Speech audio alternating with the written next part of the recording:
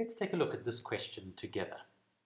It says a transformer has 100 turns in the primary coil and 20 turns in the secondary coil and they tell us that a voltage of 240 volts is applied across the primary coil. Now they're asking what voltage is produced across the secondary coil.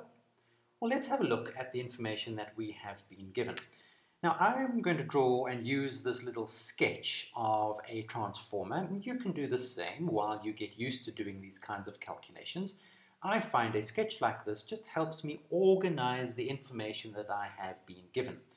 Uh, also note that uh, by tradition we put the primary coil on the left hand side and the secondary coil on the right hand side. Now as you get more experienced with these calculations you may find it unnecessary to draw such a diagram to help you.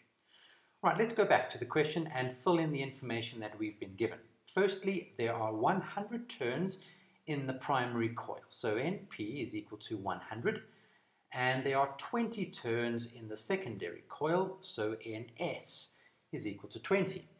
And they've also told us that a voltage of 240 volts is applied across the primary coil. So uh, VP is equal to 240 volts, and we need to find the value of Vs, or the voltage across the secondary coil. Well, we know that we have this very special equation, the transformer equation, so let's plug the values that we have into the equation so that we can solve for Vs. We know the number of turns in the secondary coil and the number of turns in the primary coil. We also know the voltage across the primary coil. So if we plug our values in, we get that 20 divided by 100 is equal to the voltage across the secondary coil divided by 240 volts. We can simplify 20 divided by 100 to 1 divided by 5. We can rearrange the equation and multiply both sides of the equation by 240 volts, and that will give us that the voltage across the secondary coil is equal to 1 fifth multiplied by 240 volts.